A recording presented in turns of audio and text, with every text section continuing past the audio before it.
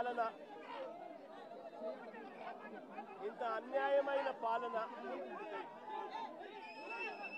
బహుశా ఆంధ్ర రాష్ట్ర చరిత్రలో ఎప్పుడూ కూడా జరిగి ఉండదేమో.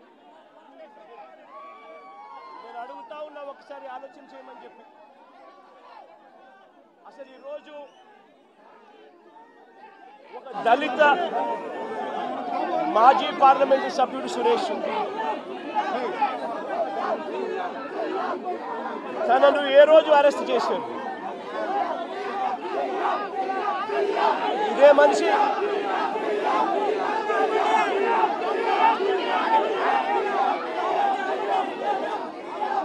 నాలుగో తారీఖున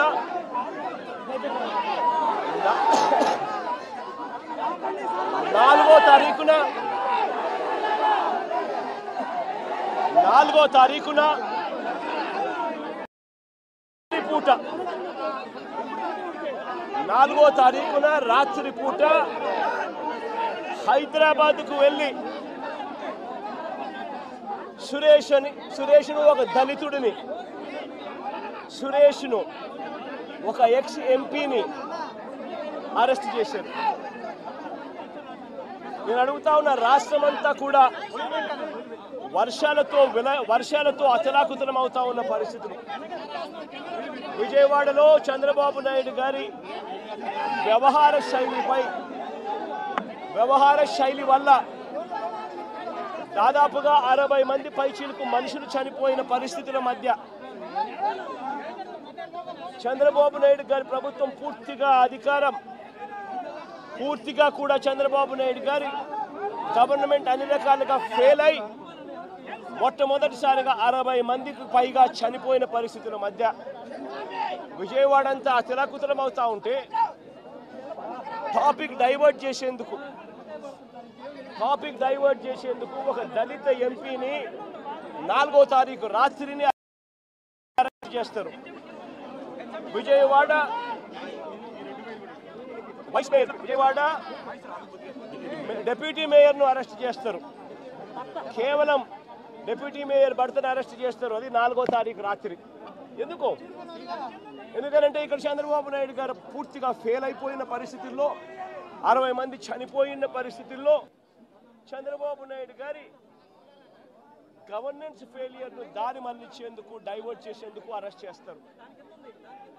అసలు ఈ కేసుకు సంబంధించి పూర్వాపరాలు చూస్తే ఈ కేసుకు సంబంధించి మూడు సంవత్సరాల పైచిలకు మూడు నాలుగు సంవత్సరాల కిందట జరిగిన ఈ కార్యక్రమం ఈ ఘటన. రెండు వేల ఇరవై ఒకటి అంటే దాదాపుగా నాలుగైదు సంవత్సరాల కిందట జరిగిన ఘటన. దాదాపుగా నాలుగు సంవత్సరాల కిందట జరిగిన ఘటనలో ఈరోజు టాపిక్ డైవర్ట్ చేసేందుకు నాలుగో తారీఖు రాత్రిన సురేష్ను దళిత ఎంపీని విజయవాడ డిప్యూటీ మేయర్ భర్తను అరెస్ట్ చేస్తారు. నేను అడుగుతా ఉన్నా. సూటిగా నేను ఒకటే ఒక ప్రశ్న అడుగుతా ఉన్నా. ఆ రోజు ఏం జరిగింది? తెలుగుదేశం పార్టీకి సంబంధించిన అఫీషియల్ స్పోక్స్ పర్సన్ పట్టాభి అనే వ్యక్తి ఆ రోజు సిట్టింగ్ ముఖ్యమంత్రిగా ఉన్న ఉన్న- ఉన్న సిట్టింగ్ ముఖ్యమంత్రిగా ఉన్న అప్పట్లో అప్పట్లో సిట్టింగ్ ముఖ్యమంత్రిగా ఉన్న వ్యక్తిని.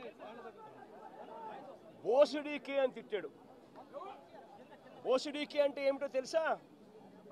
తెలుగుదేశం పార్టీ కార్యాలయంలో తెలుగుదేశం పార్టీ అధికార ప్రతినిధి. ముఖ్యమంత్రిని ఆ రోజు అన్న మాట లంజా కొడక అని.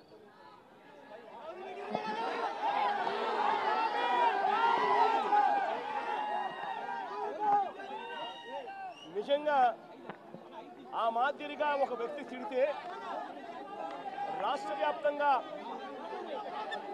ఆ ముఖ్యమంత్రిని ప్రేమించే వాళ్ళు వైఎస్ఆర్ కాంగ్రెస్ పార్టీని అభిమానించే వాళ్ళు రాష్ట్ర వ్యాప్తంగా ఉన్న వాళ్ళందరికీ కూడా కడుపు మండదా ఎవరైనా చెబితేనే వాళ్ళు వచ్చి చేస్తారా? కడుపు మండిన వాళ్ళు ఈ అన్యాయాన్ని చూడని చూడాలనుకునే వాళ్ళు చూడకూడదు అని అనుకునే వాళ్ళు కొంతమంది తెలుగుదేశం పార్టీ ఆఫీస్ దగ్గరికి వెళ్ళి నాట్ సర్వ్ ద పర్పస్ కాబట్టి ఫార్టీ వన్ ఏ ఇచ్చి కోర్టుకు హాజరుపరచడం కూడా జరిగింది. మన ఇంత నిబద్ధతతో ఆ రోజు మేము అడుగులు వేసాం ఇంత నిబద్ధతతో ఆ రోజులో ఆ రోజు నిబద్ధతతో అడుగులు వేసి వాళ్ళందరినీ కూడా హాజరుపరిచి ఫార్టీ వన్ ఏ కింద వాళ్ళందరికీ కూడా నోటీసులు ఇచ్చి వాళ్ళందరినీ కూడా కోర్టు ప్రొడ్యూస్ చేసి నేను అడుగుతా ఉన్నా. ఈరోజు సురేష్ కానీ లేకపోతే వీళ్ళు అరెస్ట్ చేసిన డిప్యూటీ మేయర్ హస్బెండ్ కానీ వీళ్ళల్లో ఏ ఒక్కరైనా కూడా ఆ రోజు కనీసం లొకేషన్లో ఉన్నారా? వీళ్ళ సెల్ ఫోన్లలో సెల్ ఫోన్లు ఎక్కడున్నాయో ట్యాగ్ చేస్తే తెలీదా? తెలుగుదేశం పార్టీ ఆఫీస్లో సీసీ కెమెరాలు ఉండవా? ఆ సీసీ కెమెరాలు కుట్టి చూస్తే తెలీదా? మరి అలాంటప్పుడు వీళ్ళు ఎవరు లేనప్పుడు మూడేళ్ళ నాలుగేళ్ళ తర్వాత మూడు నాలుగేళ్ళ తర్వాత జరిగిన ఘటనలో మీరు ఇష్టం వచ్చినట్టుగా ఇప్పుడు మళ్ళీ దాన్ని తొవ్వి దాంట్లో ఫాల్స్ విత్ ఫాల్స్ విట్నెస్లను జోడు చేసి దాంట్లో ఉన్న వాళ్ళందరినీ భయపడిచి ప్రలోభాలు పెట్టి వాళ్ళతో లేనిపోని పేర్లన్నీ రాయించేసి మీరు ఇష్టం వచ్చినట్టుగా నువ్వు అరెస్టు చేయడం మొదలు పెడతా ఉన్నావు. రాష్ట్ర వ్యాప్తంగా కూడా ఇదే జరుగుతూ ఉంది. ఈ ఒక్క కేసే కాదు. ఇదే మాదిరిగానే రాష్ట్ర వ్యాప్తంగా కూడా జరుగుతూ ఉన్నాయి పోలీసులు ఏ స్థాయికి దిగజారిపోతా ఉన్నారు అని అంటే అటువంటి పాత కేసులలో కావాలని వీళ్ళే తప్పుడు సాక్ష్యాలు క్రియేట్ చేస్తూ ఉన్నారు.